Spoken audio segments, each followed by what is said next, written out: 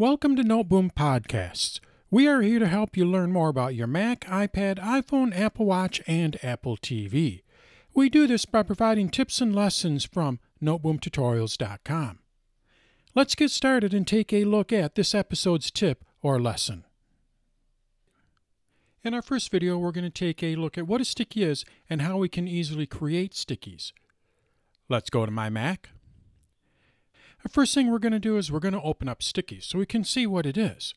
Basically, when we open up a sticky, what we're doing is we're placing a sticky note on our Mac. Stickies is located in your Applications folder. So now what I'm going to do is I'm going to go to my Finder here, and then I'm going to go over to Go, and I select Applications. From here, you're going to see an app called Stickies. I'm going to scroll up here, and you're going to see Stickies here. I double click on it. And now, let's go ahead and close this. And now you're going to see I have a couple of sticky notes here. I'm going to move these around. Let's just place them next to each other here. So this is what a sticky is. You can see we have different colors. We can make them float on top of our other windows. We can paste text into them as well as images. We can also arrange them. So now how do we create a sticky? Well, all we have to do is just go up to File when we're looking at our stickies here.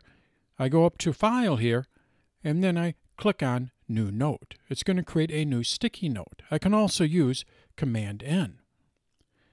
I click on it, and now we have a new sticky note here. All I have to do is just start typing my note.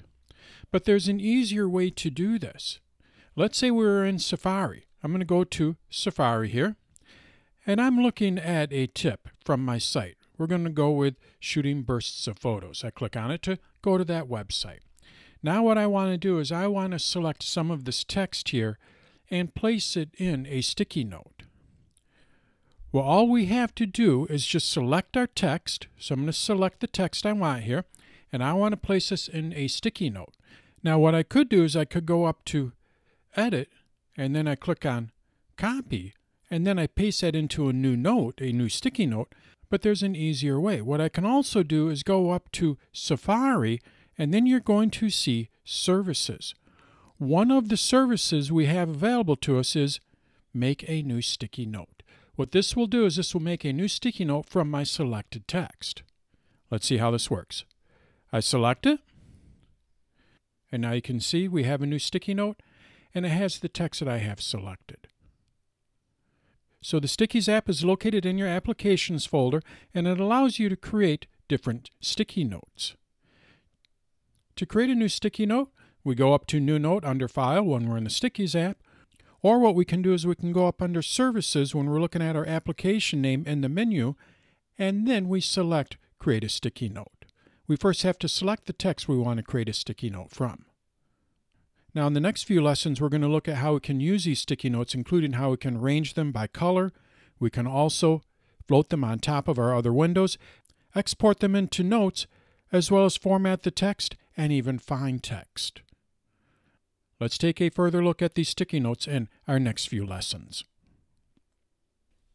Well, I hope you found this episode helpful. If you did, you can find more by going to noteboomtutorials.com. That's Noteboom. It's like notebook, but with an M, as in Mary. We have hundreds of lessons and tips available for you.